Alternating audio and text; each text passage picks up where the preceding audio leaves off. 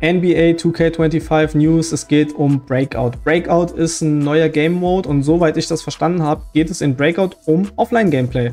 Ich habe mich bei dem ganzen Livestream von NBA 2K gefragt, wo ist denn Offline? Es geht immer nur um Online, Online, Competitive, Competitive. Ich park hier, park da. Wo ist Offline? In Breakout. Gucken wir mal rein, was Breakout sein soll. Es klingt erstmal cool. Es sieht aus wie ein Monopoly-Feld. Es ist folgendermaßen aufgebaut.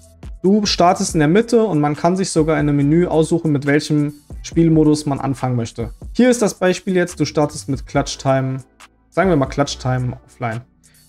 Du kannst entweder nach oben gehen, hier wird dir ein Spielmodus angezeigt, den du spielen musst, um auf das nächste Feld zu kommen. Du kannst nach rechts gehen, da ist ein anderer Spielmodus. Du kannst nach unten gehen, da ist wieder ein anderer Spielmodus. Oder du kannst nach links gehen, da ist dann wieder ein anderer Spielmodus.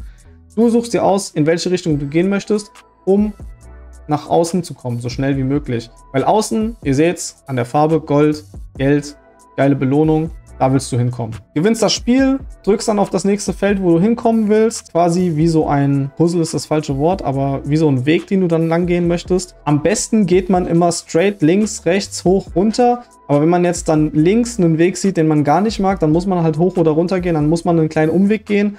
Aber an sich ist das doch eine ganz coole Sache. Für wen das vielleicht blöd ist, ist für Leute, die wirklich offline nur einen einzigen Game-Modus spielen wollen. Und jetzt stellen wir uns mal vor, du bist irgendwie am Rand, bist kurz vor Gelb und du kannst aber nur oder du willst nur Clutch Time oder nur Triple Threat oder was auch immer spielen.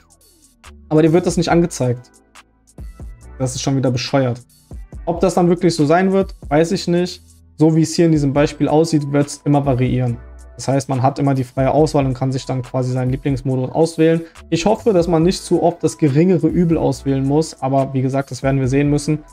So an sich erstmal ganz cool, dass dieses Offline-Gameplay-Menü so spielerisch dargestellt wird. Das war vorher ziemlich monoton, aber es ist halt so eine andere Erfahrung, die man dann während diesem Offline-Gameplay hat. Ob die Belohnungen geil sind, das werden wir sehen. Ich glaube, wir sollten die Hoffnung da nicht zu hochschrauben, weil offline generell immer so ein bisschen, ja, als Offline-Spieler wirst du halt nicht so hoch angesehen wie jemand, der online jeden wegklatscht. Das ist ganz klar. Mal sehen. Es gibt immer viele Leute, die 2K auch sehr gerne offline spielen, weil sie nicht die Zeit haben, sich da so reinzufuchsen. Die Online-Community in NBA 2K, die ist halt schon relativ tough teilweise. Und deswegen ist es aber schon mal gut, dass Leute nicht für Agendas oder Challenges, zumindest zum aktuellen Stand, in Online reingepresst werden. Wenn hier jetzt online drin wäre, das wäre eine absolute Katastrophe für manche Leute. Deswegen, so wie das jetzt ist, finde ich das jetzt erstmal ganz cool. Wir gucken uns jetzt nochmal die Infos dazu an. Man darf nicht dreimal verlieren. If you lose three times in a run, you will need to start over. Also wie man das von äh, Clutch Time auch kennt. Man hat, äh, wenn man dreimal verloren hat, musste man, wurde man zurückgesetzt. Das ist hier dann auch so.